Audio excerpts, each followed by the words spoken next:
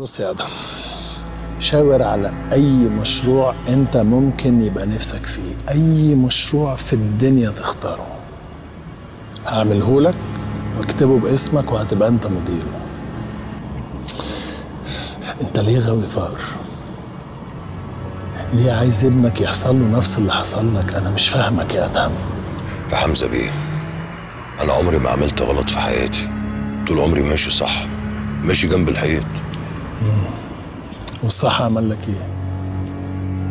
عمل لك إيه؟ أنت مش كنت مرمي في السجن لولا أنا طلعتك؟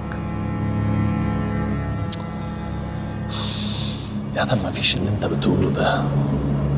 اللي بيمشي صح واللي بيمشي جنب الحيط واللي بيمشي جوه الحيط كلهم بيروحوا في داهية يا آدم.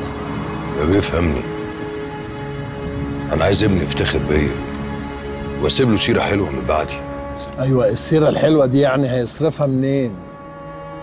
هيروح يوديها فين وياخد بدلها فلوس يعمل بيها اللي هو عايزه؟ فين؟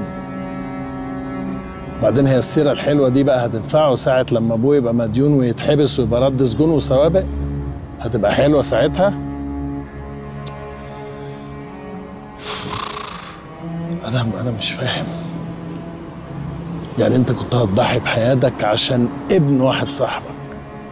مش عايز تتخلى عن شوية الأفكار اللي بتزن في دماغك دي عشان ابنك انت؟ ابنك؟